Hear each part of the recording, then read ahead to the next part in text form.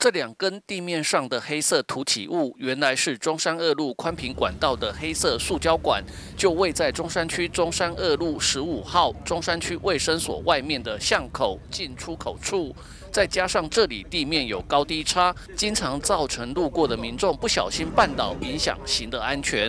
民众讲起来，对，尤其如果灯光灰暗的时候，他们经过的时候都会听到，已经很多个民众受伤了。公务处尽快来将这个宽频的这个管线把它处理好。那还有这个路面的方面，就是对啊，这个地方，然后还有路面这个地方，等到这个宽频弄好之后，希望还有这根区公所所设立的管，这是什么告示牌？告示牌。告示牌，希望能够去除，因为白路路这边好像有点阻碍我们的通行。那包括这边的。这边的一个水泥的一个高低差，似乎让民众觉得说很不方便，而且容易有高低差就不很顺。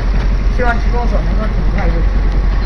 我想今天就就是我刚刚所说的三点。基隆市议员宋伟立接获民众反映后，特地邀请当地里长、基隆市政府公务处和中山区公所等相关单位人员办理会勘。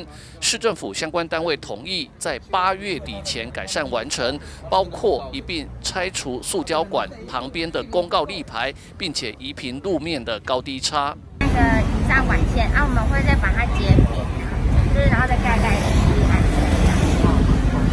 公所就是配合公务处把这个关屏的部分做竖起，哦，然后这个中华电信的那个盖板跟泄水管都都不能动，哦，高层会配合它，哦，不要有这样子那么高低的这个差距很大，哦，让它再平顺一点。宋伟立希望如期改善完成，保障用路民众的安全。记者吴俊松基隆报道。